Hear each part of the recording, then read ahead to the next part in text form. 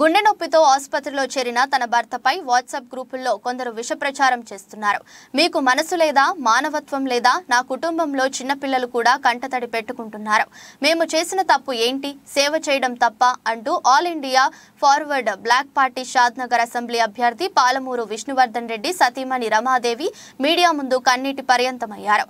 బుధవారం విష్ణువర్ధన్ రెడ్డి స్వగృహంలో ఏర్పాటు చేసిన మీడియా సమావేశంలో రమాదేవి తన కూతురు కుమారుడితో కలిసి మీడియా ముందుకు వచ్చారు. ఈ సందర్భంగా ఆమె మాట్లాడుతూ తన భర్త పాలమూరు విష్ణువర్ధన్ రెడ్డి తీవ్ర అనారోగ్యంతో అస్వస్థకు లోనై గుండె సంబంధిత సమస్యతో ఆసుపత్రిలో చికిత్స పొందుతున్నాడని పేర్కొన్నారు. అనిపించింది. ఇవి పెట్టినంత మాత్రాన వాళ్ళకి ఏమొస్తుందనా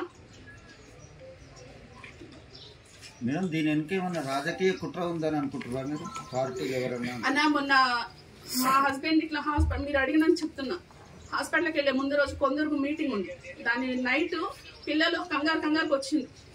తొమ్మిదిన్నర పదింటప్పుడు మా తమ్ముడు మా బావ కొడుకు వాళ్ళందరూ ఉన్నారు ఇంక ఇద్దరు పిల్లలు ఉన్నారు ఊళ్ళో. పీర్లగూడ పీర్లగూడలో వెహికల్ మీద రాళ్ళు విసిరేసిండన్నా ఉమ్. అవసరమా? కాలు వణికిపోయింది. ఏ సిచ్యువేషన్ ఇప్పుడు ఉన్న కార్యకర్తల్లో ఒకళ్ళు చిన్న గాయమైనా కానీ నేను ఎంత బాధపడుతున్నా నా స్టాఫ్ సంగతి నేను ఎలా చూసుకున్నా నా స్టాఫ్ అడగండి. మా ఇంటి పిల్లల్లాగా ఉంటారు ఎంత భయపడిపోయింది అంత అంత భయభ్రాంతులకు గురి చేయాల్సిన తప్పేం చేస్తున్నాం? పిల్లల మీద రాళ్ళు ఇసిరేసింది పండ్ల మీద చేజింగ్ అంట. పిల్లగూడ పిల్లగూడ గ్రామంలో. ఆ మరుసటి రోజు ఈయన కొందరు మీటింగ్కి వెళ్ళారు. సిక్స్ థర్టీకి వెళ్ళిపోయారు. సిక్స్ థర్టీకి వెళ్తున్నప్పుడు నేను నీ షెడ్యూల్ ఏందమ్మా? అని ఐదు గంటలకు లేచి అడిగితే ఈ టైంలో ఎందుకు షెడ్యూల్ వెళ్తాను అని చెప్పాను. ఆ లేదు లేదు నీ షెడ్యూల్ ఏంది? జాగ్రత్తగా వెళ్ళు. ఆయనకి ఒక భయం స్టార్ట్ అయింది. అంటే పిల్లల మీద అటాక్ చేయడము ఇవన్నీ కార్యకర్తలు ఎక్కడన్నా అవమానం చేస్తారా? ఇవన్నీ ఆయన చూసిన కానీ నేను చూడలేదు అప్పటికి. నాకు తెలియదు ఇవన్నీ. నేను ఫోన్ పెద్ద ఫేస్బుక్ ఫాలో అవ్వను.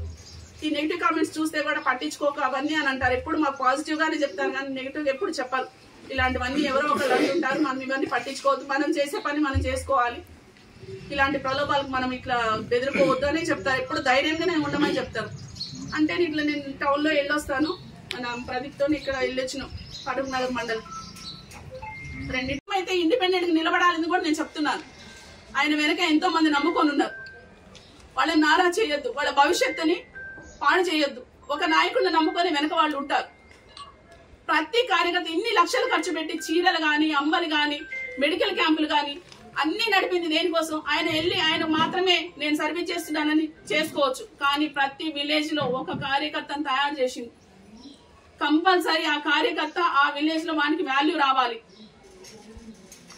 వాని ఇంటి పైసలు పెట్టకుండా తను ఇస్తూ ఆ కార్యకర్తకు విలువ తీసుకొచ్చిండు. కొంతమంది నాయకులు తయారు చేయాలనుకున్నాడు. తనే నాయకుడు అవ్వాలనుకోలేదు. తనతో ఉన్నోళ్ళందరూ నాయకులు అనుకుంటున్నాడు. ఈ విషయాన్ని అసలు ఈ సోషల్ మీడియాలో ఎందుకన్నా ఇంత ప్రచారం? ఎన్నడన్నా మేము అట్లా ఇట్లా చేయాలంటే నాలుగున్నరేళ్ళ నుంచి మేము డబ్బు ఖర్చు పెట్టకుండా ఎన్నో చేయొచ్చు కదన్నా? ఈ రోజు ఎందుకు చేయాల్సి వస్తుంది? హెల్త్ గురించి ఆలోచన లేదు. నేను ప్రచారానికి వెళ్ళిపోతున్నా. నేను టౌన్లో తిరుగుతున్నా. నేను టౌన్లో తిరుగుతున్నా. ఆయన హెల్త్ గురించి ఆయనకు ఆలోచన లేదు. తిండి సరిగా లేదు. మెడిసిన్ ఇర్రెగ్యులర్ అయింది. బీపీ అబ్నార్మల్ అయ్యి మైల్డ్ స్ట్రోక్ వచ్చింది. నాకు ఇక్కడ చూపించాలని లేదన్నా. ఇక్కడ ఉంటే నేను నా సిచ్యువేషన్ నా కుటుంబం కూడా నాకు ముఖ్యమే కదా ఎంతసేపు ప్రజలే కదా నా కుటుంబం కూడా నాకు ఇద్దరు పిల్లలు ఉన్నారు. నా ఫ్యామిలీకి ఆయన కావాలని ఉంటుంది ఇమీడియట్గా హైదరాబాద్ తీసుకెళ్ళాం. మైల్డ్ స్ట్రోక్ వచ్చిందా? ఈసీజీ చూపించు అబ్నార్మల్ ఈసీజీ చూపించు వాళ్ళకి మీడియా వాళ్ళకి. వద్దులేను? అన్న తీసుకోండి అన్న మీరు అన్ని తీసుకోండి. నాకు నేను ఏ రోజు మీడియా ముందుకు రాలేదు. ఏ రోజు అన్న వచ్చిందా? మీ అందరిని ఎంత గౌరవంగా చూసుకుంటాడా నా అన్న మిమ్మల్ని? ఎక్కడన్నా మీకు ఈ గౌరవం దక్కిందా? నా ఇంటికి వస్తే నా అన్నదమ్ముల్లా వచ్చిపోయింది కానీ. ఎప్పుడన్నా మీడియా వాళ్ళకి అగౌరవం ఉందా అన్న ఇక్కడ? చూయించు ఈసీజీ చూయించు. అన్న అబ్నార్మల్ ఈసీజీ వచ్చింది. పోయిన తర్వాత బీపీ అబ్నార్మల్ వస్తుంది. నిన్న కూడా వన్ నాట్ వన్ ఫీవర్తో ఉంటే నేను నేర్చు. నేను వెళ్ళిపోతాను. నేను మీడియా వాళ్ళతో మాట్లాడతాను. నేను ఫోన్